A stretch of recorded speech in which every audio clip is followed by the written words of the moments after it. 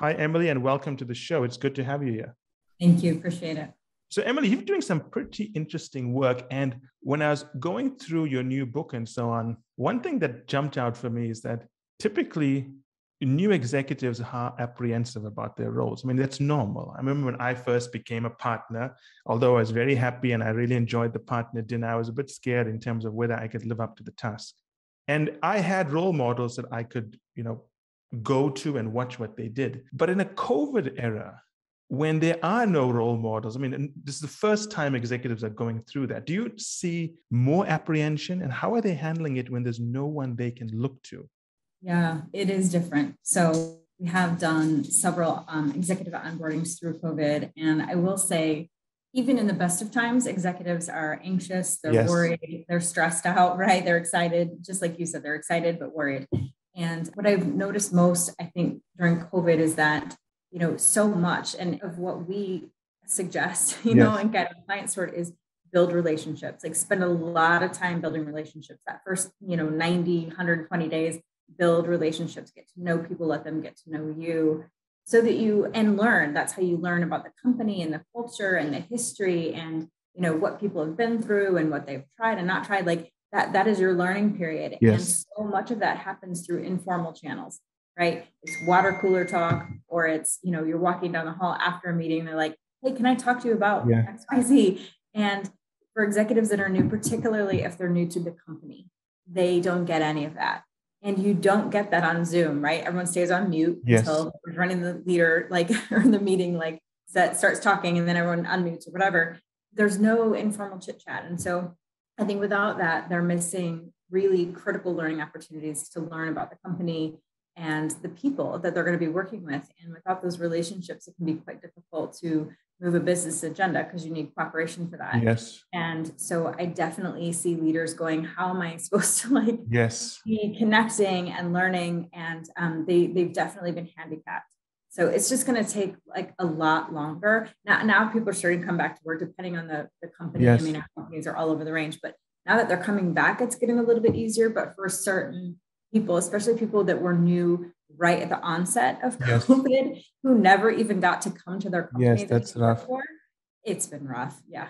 So I would imagine that right now companies are doing the best they can to equip existing and new executives but we don't really know what's the impact going to be until maybe three or four years when we've seen how these leaders develop i remember when i was a partner best way to learn everything is not through the knowledge system because nothing valuable is in that knowledge system if you want to learn how to sell you've got to watch another partner sell if you want to learn how to talk to clients you've got to go to a meeting with a partner if you want to convince someone to do something very controversial you never discuss it over the phone, over email. You find the person, take them to coffee.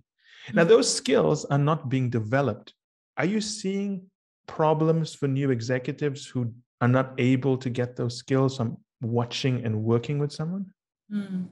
Well, I, I, don't think the I don't think the pandemic has gone on long enough for us to see what the long term consequences yes. of this are and most of the people that we deal with are not very junior, right? Yes. They're not brand new executives usually. So they've, so they've learned things over time. They've, they've gotten that a lot, probably from the past, and so they're they they can continue to operationalize that. I think what I worry about most for them because they've had that opportunity probably now they need more of it, but I think I worry more about the informal channels of communication, yes. the informal channels of promotion, visibility, opportunity. That's what for sure I can see already that they're not getting but that having someone to be able to model, I think most of them, at least in our population that we serve, most of them yes. have gotten that in the past, and so they're okay. Yeah, that's a good point. So older executives who've been through the mill as such, they have those role models. It's the younger executives, but most young people don't really have executive positions because they're starting out. So there's a totally different skill set that they are missing. So for yeah, someone I taking, more, I worry more about them. I'm sort of cut off. I, I worry oh, more about them you know, because they're missing some of those critical. It's like having a student that, you know, they're graduating 12th grade, but they skipped two grades or they just missed it, right? They were absent yes. those two years. It's like, okay, but there's this really important thing that you're supposed to learn and you didn't learn it. So I do worry more. We don't tend to work with young, super young executives. That's just not where we're placed. Um, but I do worry about their development and and they tend to be very prone toward wanting to stay home, working from home, and continuing yes. to do that And I think what they don't realize that they're missing is a lot of that grooming that you're talking about. And so I wonder in five years from now if we're going to see kind of a knowledge gap in that population. I don't know. Yeah, that's a good point because I remember when one of the things I advise any client is that we talk a lot about mentoring in the world today, but I find the biggest benefit is role modeling, whereby you actually observe a senior person as opposed to waiting for them to give you feedback. And obviously, junior people are not getting that now. Do you think companies should be doing something to prepare for this gap in capability that's going to be hitting the executive ranks in five to eight years? Is that something companies should be doing? Is there anything they can do about it, or is it just something you have to deal with when it happens? I think a lot of that's going to depend on how the pandemic is handled and how you know how much people come back to work so and that's depending on the company right so i've got some clients where everyone's back to work they've been back to work the whole time and that's the end of the story yes. then i have some companies that are like it's all remote now and yeah.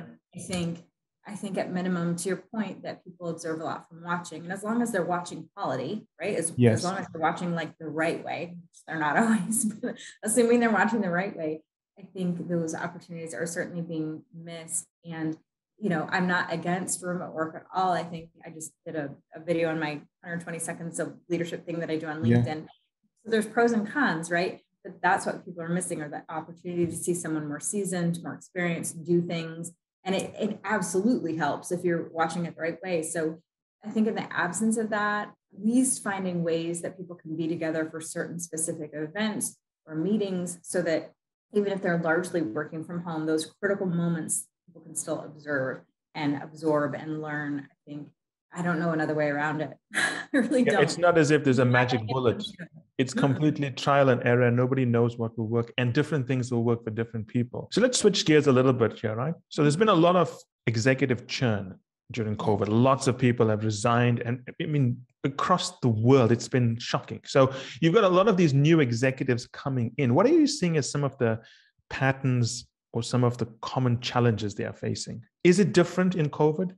I think, well, I mean, it's different because for several reasons. I think one, that the amount of churn, and, and I've, I felt like I've worked with some pretty high churn clients yes. in the past, but I've never seen anything like this. And I've never seen companies that historically have had like waiting lines of people that couldn't wait to come work for them, like people competing to get just their foot in the door for anything and and it's been like that for you know 20 years and now all of a sudden that company can't find workers yes. and I, i'm not talking frontline workers i'm talking frontline to executives like they can't find enough people so i think you know they're calling it i think the great resignation yes right? 2021 and you know the labor shortage i think you know everyone is very stressed they're very taxed um, teams are running very thin so i think i don't well i think what i already spoke about right they come in and everything's on Zoom, or if everything's yes. on Zoom, they're at a stark disadvantage for learning. But I think also people are inheriting teams that are much more taxed, right? Yes. So I think it almost like if, if I'm a leader and I come in and you know my team has been through you know something horrific, right? They had a terrible leader, or they had a terrible year, or something you know really awful has been happening, and I inherit that team, and I'm her- inheriting a really stressed probably demoralized team. Yes. That that's a thing that happens, right? And there's a way to lead that. But I think during COVID, because teams are so lean and there is that labor shortage and we're scrambling for certain types of talent and they can't get it. So I think, you know, I've always thought that our clients seem to be really stressed about work. like yeah. definitely work very, very hard. But I think now they're inheriting a stress that's not, it's not just the labor shortage, but they are stretched very, very thin. But it's also, you know, their home life has been disrupted. I've got you know, two executives, you know, husband and wife, they're both senior level, C level executives, and they've got two school age kids, and they can't decide who stays home every time a kid gets exposed, right? Wow. They're like, the job doesn't stop. So I feel like the level of stress is is amplified by not just the isolation, which is definitely bad for people. Yes. And the chronic health things that are coming along with that. My husband works in health insurance. He's like, every marker has gone like through the roof because of COVID, like all the markers are up, you know, name it, and the markers are going up and not in a good way. And so I think we've got physical tax, we've got emotional, mental tax, we've got strap teams that don't have enough talent, and you've got people that are trying to do this among, you know, managing their families and isolation and everything else and not getting to go on vacation. So I just feel like as stressed as I felt like people were two years ago, it's it's higher now. So I think when in the past you might inherit a team that's like energized and yes. excited and they're super happy you're there and they're like ready to go. I don't see a lot of those teams right now. I just don't. And it's sad. You paint a very dispiriting picture of going back into the C suite for me, Emily. I think I'm going to take a pass on going back into the workforce. But what you say is true. I mean, you mentioned the word stress, I think, 15 times in that discussion. And it's true because you, when a new executive or an executive switches into a role, you're not simply inheriting a team, you're almost rehabilitating a team. Mm. It's a very different mindset. You've got to you've got to fix them, take care of them, emotionally counsel them, support them, and you've got lots of other issues happening at home. So it's almost as if there's um there's a whole new skill set that leaders need, which takes them out of those business roles that they're so common at focusing on. And they've got to find ways to heal their teams, mm. show empathy, think about where they are. And it's very difficult to do that when you can't really see the person, they're on Zoom all the time. Yeah. So it's a different mindset. And what are some of the best practices that you're seeing in terms of how executives are doing that? I think one, to the extent that health policies allow, I think, having time with their teams. You know, I'm saying I just actually got a bunch of pictures from an executive that took his team out to do like, I don't know, wine and painting or something. And I was like, wine and painting over Zoom. No, no, like oh. they they were able to be in person. Oh, that's in a good. Place where they had to be in person, and so, uh, but I would have never pictured this guy doing this, yeah. right? And so I think you know to the extent that health policies allow uh, time to be together, and uh, if it's work, if it's play, if it's just being together, I think people are so starved for that in general. I think, uh, you know, to the extent that companies deem it safe or CDC deems it safe or whomever, you know, we're following, I think getting people together is, I mean, we're pack animals.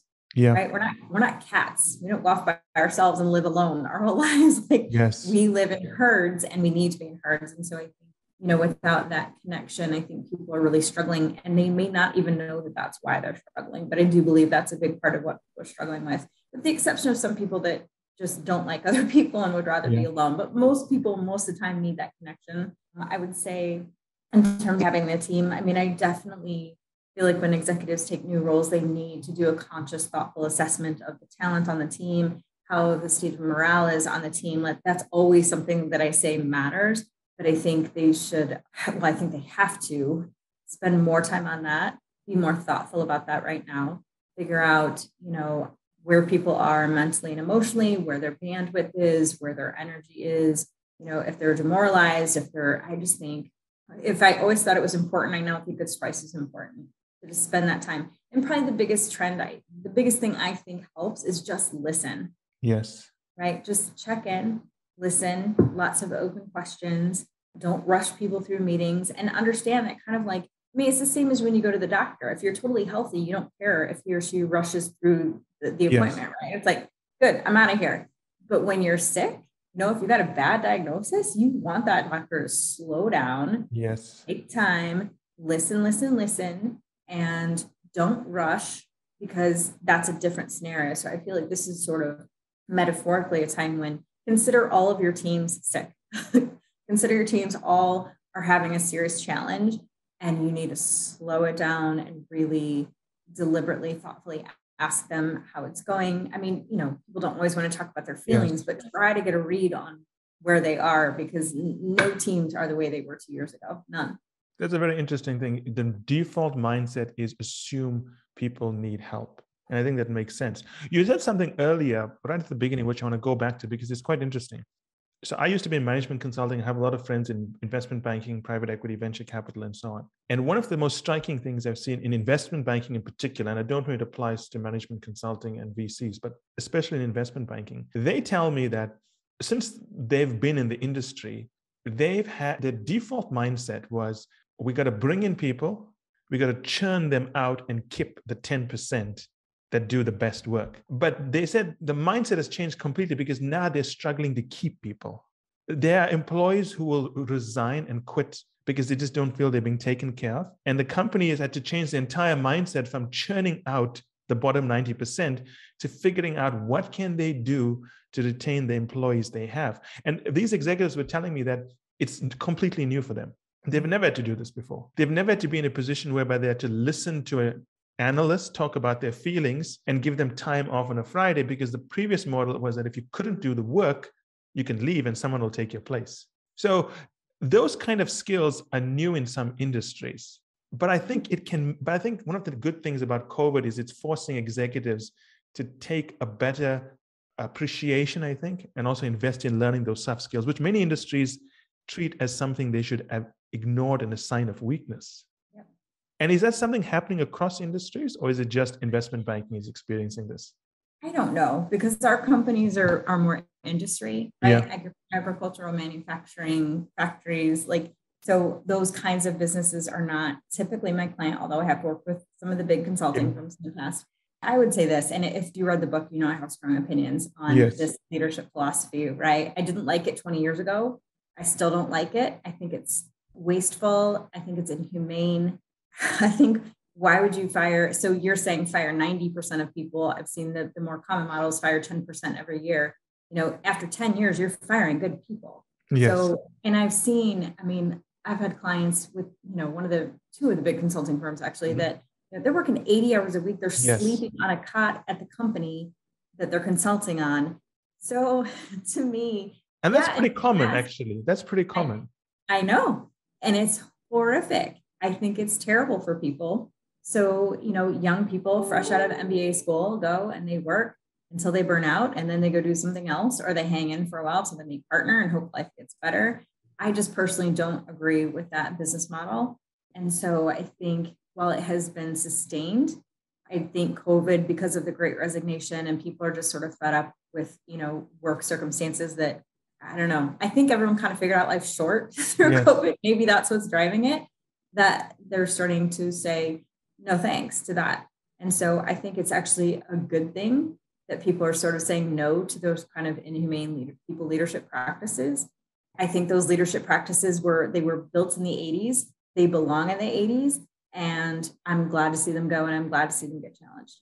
Yeah, I remember when I was a consultant. This was when I was a business analyst, I think. I remember falling asleep on the floor of the boardroom of a client because it was 3 a.m. and we had not finished the work, and there's a board meeting the next day. And it was commonly accepted as a badge of honor. And people would talk about it at drinks that I fell asleep. I only got home at 2 a.m. It was seen as a, something to be proud of. It's obviously unhealthy. It's the wrong kind of mindset to have. And you're right, COVID one of the good things about COVID is it forces people to appreciate what is important to them and to mm-hmm. say no to unhealthy behavior. But I think not enough people are doing it. And hopefully, when COVID passes, we don't go back to those unhealthy behaviors. So, switching back to executives in new roles, what advice? So, we've got clients all over the world India, China, Singapore, and so on. Mm-hmm. There are obviously different cultures and there's different things at work. But for new senior executives, what would you tell them to focus on when they take in these new roles?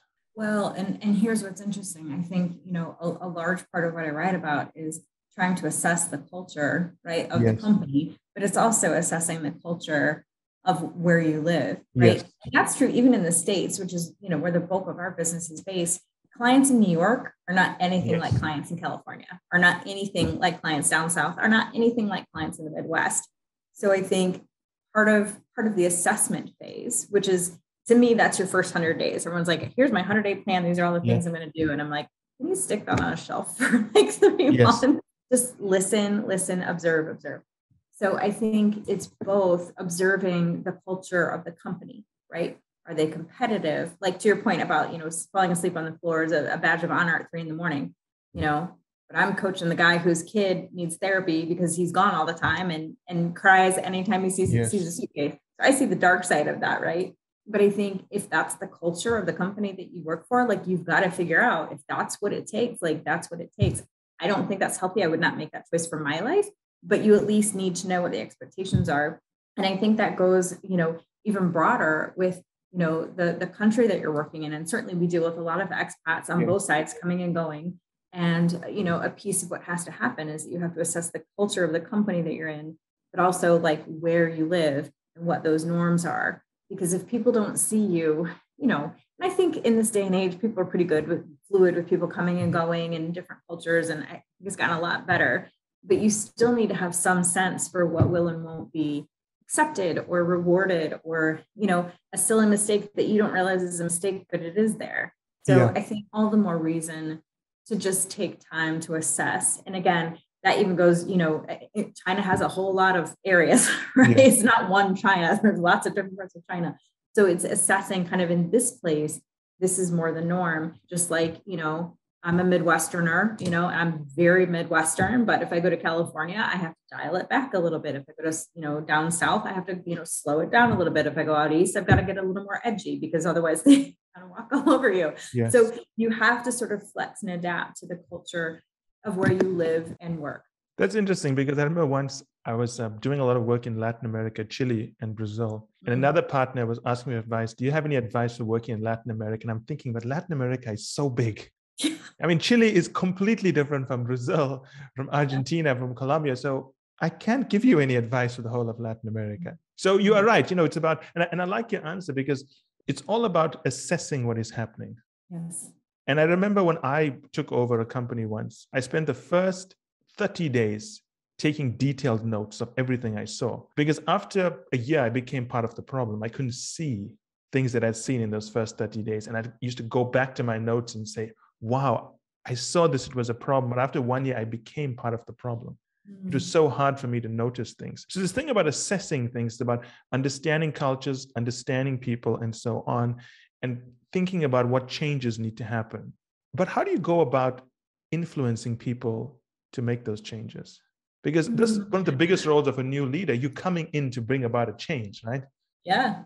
Yeah. And I think, you know, and good for you for spending 30 days at least. Like i encourage people to spend even more time than that just like listening asking questions yes. taking notes comparing notes right? Do i hear the same thing from people above me as i do people below me? Do i hear the same thing from peers? If not why? Because different groups are going to have different perspectives right? And i think you know absorbing as much of that as possible is really critical.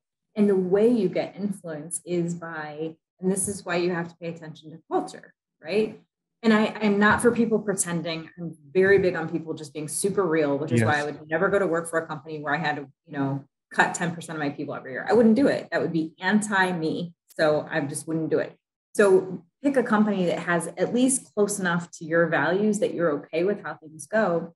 And then how you gain that influence is by fitting in enough, right? I want people to be true to themselves. Yes. But if I notice that the culture that I'm in is very collegial, cooperative, um, non-confrontational, then yes. I don't want to come in guns blazing, you know, yeehaw cowboy, because they're going to go, oh my gosh, that person does is so anti how we are that your style will take your ideas out the door with you. And, and I don't mean they'll fire you over it. They usually don't. They'll tolerate you, but they'll also in their mind say, wow, this person is so anti-culture. They're so counter yes. to how we do things here that I I can't accept this person. I therefore can't accept his or her ideas, even if they're high quality ideas. The ideas go out the door with you and they just isolate you from power. I call it, I don't even think I write about this in the book, but I, I call it organ rejection. Yes. You transplant a perfectly good heart into my body, but if my body decides it does not want that heart in the body, the body will kill the heart. And that's exactly what ha- happens in organizations if people can't assess the culture quickly enough to fit in enough. And I hate saying that. I feel like that totally steps on any DNI initiatives. Yes. But you have to fit in well enough that people are willing to listen. Yes. And be influenced. And while you're doing that, you're also building relationships. You're letting people know who you are as a person, not just who you are as a professional. Let them know who you are, get to know who they are, care about your people, be curious about them and their career and where they, whatever, like absorb all of that and then people will sort of feel like, oh, okay, they want to belong to our group. They want to belong here. And then all of a sudden they like your ideas better. Yes, that makes sense. Yeah. It's a very simple thing, right? not that hard. It's a very simple thing. To influence a group, you have to do it from within. Yeah. Now, there's a very funny story. I was dealing once with a client, and she moved from a very elite firm to a not so elite firm. But her model when she moved to a new employer was that she would every chance she got, she would tell her new employer how her other firm did it better. And she couldn't understand why nobody liked her. Right. I mean, it's obvious. You can't tell someone that they're inferior and they don't know what they're doing. So I see this quite often because a lot of people come in thinking they are better. They have a significance complex. And especially in hard charging careers and the kind of uh, clients you have, a lot of people have a significance complex. They're in these roles to have significance. They went to Harvard to be significant. They worked six hours so hard to be significant and be someone better. But then they don't know how to switch it off. They don't know it's a tool. There are times when you have to be significant. There are times when you need to be insignificant. Mm-hmm. Insignificance is a form of leadership, which people don't appreciate at times. There are times you have to make yourself insignificant so the other party feels comfortable to talk to you and its ability to switch on and off is very important so you were talking about you know listening and understanding in those first 30 days first 100 days I think a lot of people, especially when they come into troubled organizations, they think they were brought in to be change agents, but they don't understand you have to change from within and put the significance complex behind them because it can be quite damaging. I've seen so many talented executives come in with the right ideas, the right attitude, but they don't build a team around them. And they have a perfectly capable team, but they reject their team mm-hmm. and they wonder why the team doesn't like them. It's happened so often. You know, I'm sure you've seen this in your career, but I've seen talented CEOs go into companies and they're not able to convince the executive vice presidents to roll out a transformation. And if the board sees you're not getting the change done, the board replaces the CEO, and the CEO goes on record saying that he couldn't make the company do anything, but he never tried in the first place. Mm-hmm. He just told them they were wrong. Yeah. So I'm sure you've got lots of stories like it, but how do you coach someone, an executive who has a significance complex? How do you get them to see that? I'm sure you've dealt with that many times.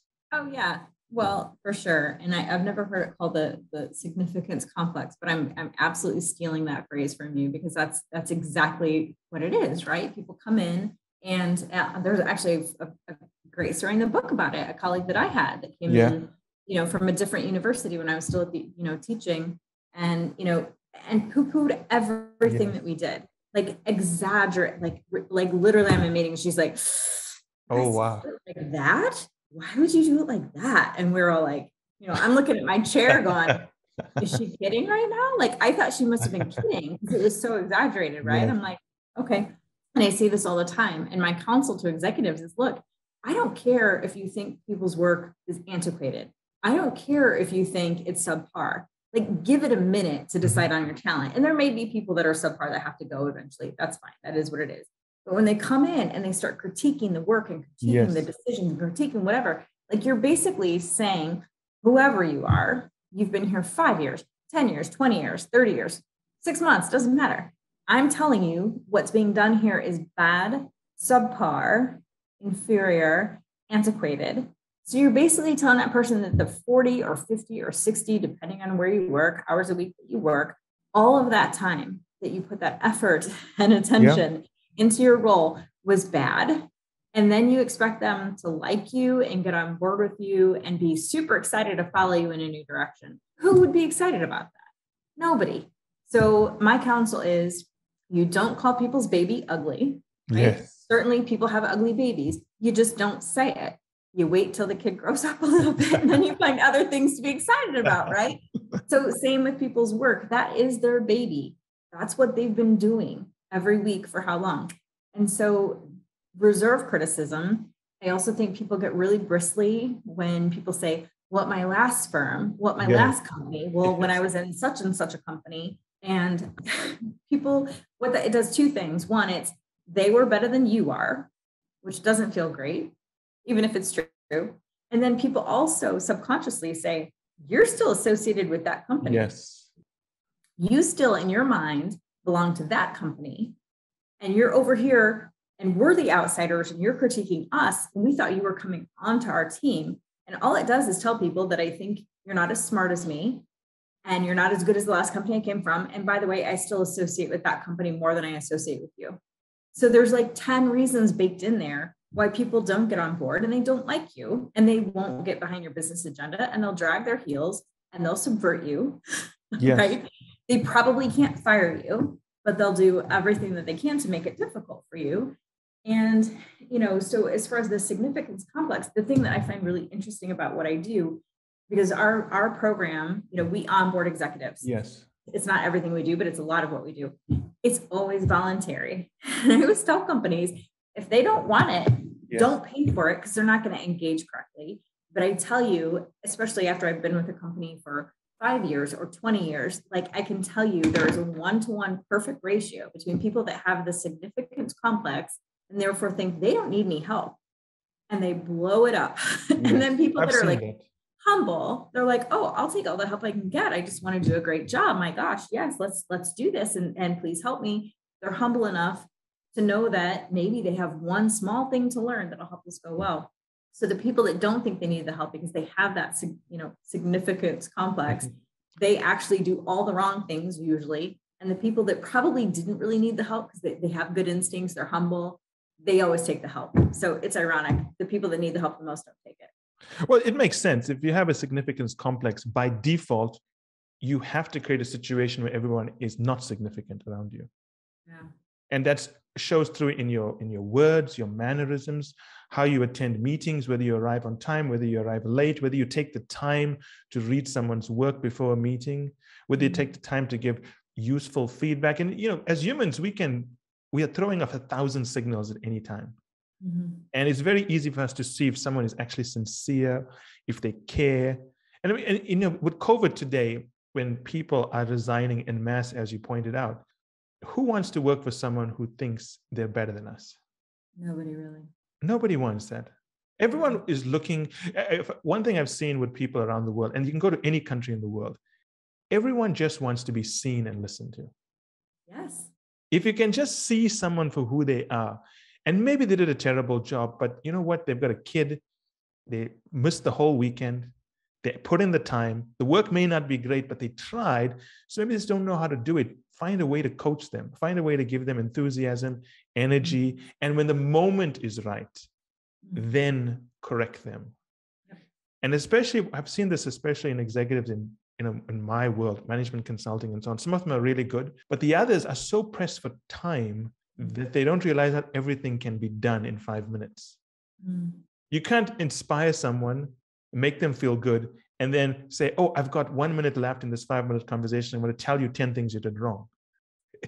This focus on productive short term, what I call short term productivity, being productive in the short term, mm-hmm. but causing long term losses is very common, especially now with COVID and people under the gun, the supply chain problems and so on. I always coach people and say, you got to first build the relationship to manage the relationship.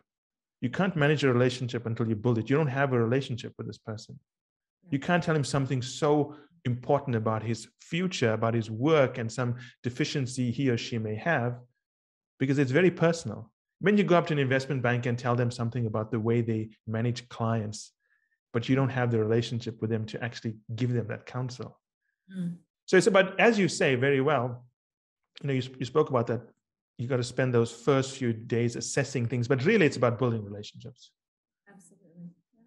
You, you're really trying to find out who is this person, what makes them tick, how do I motivate them, what do they want?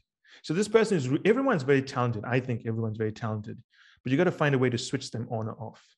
Mm. And if someone's very talented, will they work for me? How can I get them to do that level of work for me? Mm. Because most people just they can do amazing work, but there are times when they don't want to do amazing work. And you have to know how to switch them on and off. Mm-hmm. But most executives, I feel some of them take it for granted that if you work in certain companies, it's the job of the HR department to hire talented people. And it's the job of the executive to just use the people, as mm-hmm. opposed to figuring out ways to bring out the best from people. I think we're saying the same things just in different ways. Mm-hmm. Yeah, no, I agree with you. Emily, thank you so much. I actually enjoyed this call very much. Thank you. It's very clear to me that you actually love what you do. Love it. And you are very good at it and I can honestly tell you, I don't say that about many people.